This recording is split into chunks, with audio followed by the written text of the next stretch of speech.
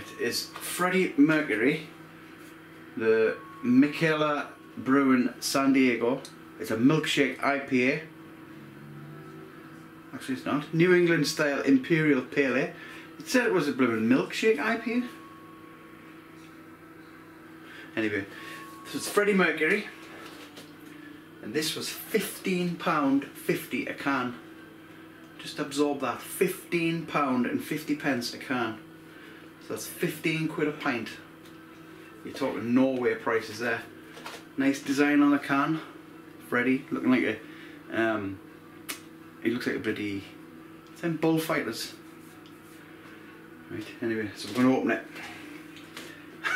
Don't want to open it. Here we go.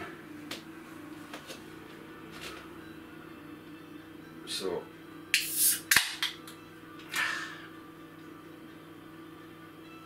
I've opened it. I've opened a fifteen pound can of beer.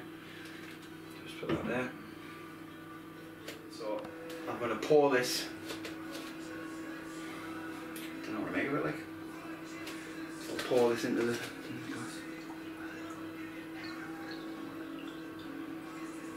the flat?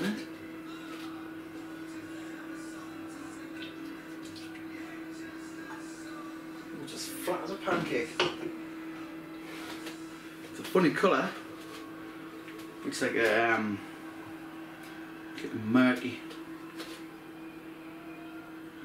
It's got bloody. It's got a, a strange. Uh, it's like earthy.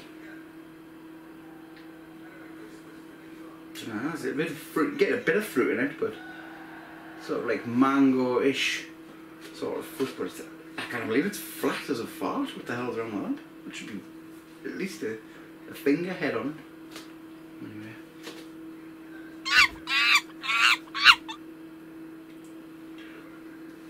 Oh. Mmm. Mmm. Ah. That's bloody horrible. Ah. Sod that. Not that. Ah. You can shove your Freddy up your arse. Ah. Fifteen pound fifty. What? I feel bloody violated.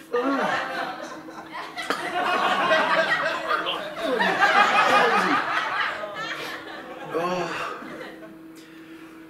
oh well, I'm not there anyway. Oh, what a jip. So, it's New Year. Well, it's New Year's Eve. And I've been saving this one. This can here. I've been saving this for a special occasion, such as New Year's Eve. And it is Freddie Murkury, the Mikkeller Brewing San Diego. It's a milkshake IPA. Actually, it's not. New England style Imperial Pale Ale. It said it was a blooming milkshake IPA. Anyway, this was Freddie Murkury. And this was £15.50 a can. Just absorb that. £15 and 50 pence a can. So that's 15 quid a pint. You're talking Norway prices there. Nice design on the can. Freddie, looking like a, um, he looks like a bloody, them bullfighters. Right, anyway, so we're going to open it. Don't want to open it. Here we go. So,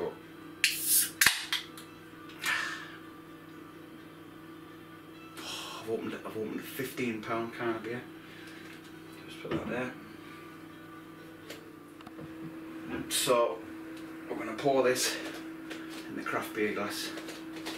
Here it goes. It's better be good, mind. It's not like I can take it back, is it?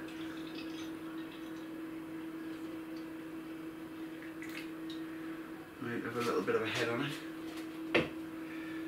So it's a bit of a weak head, maybe that's the way I poured it, but it's a small head, half half a finger. So you clean the glass really, it's a bit dirty. Oh, ooh, dear eh? me. Ooh, you can tell that's thick. Right. Well,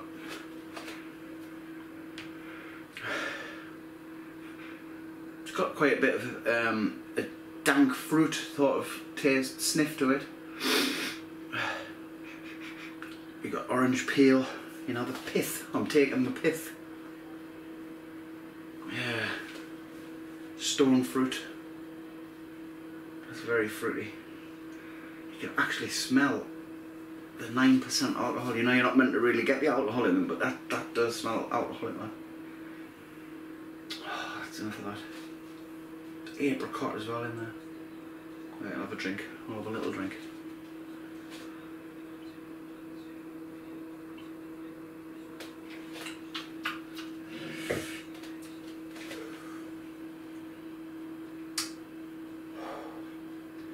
Oh, till he knocked my socks off. 9% that. It's fruity.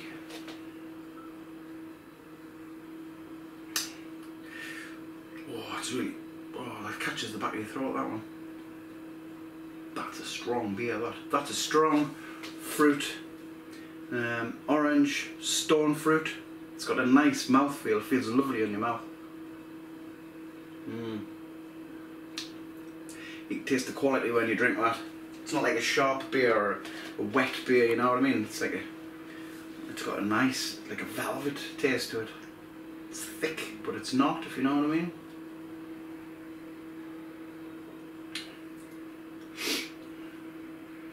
Yeah. I don't think it's worth fifteen pound though, but that is a very nice beer. So I'm going to finish this off, and then it'll be. It's quarter to eleven now, so I'm going to finish this off, and then it'll be about uh, half eleven. I'll keep it going for a while. Um, just want to say Happy New Year to everybody, and uh, we'll see you all in the new year with some more beer reviews. a Little bit of wild camping thrown in, and cycling, trips away, all sorts of crap. Right, so everybody have a good new year. Different day the horns.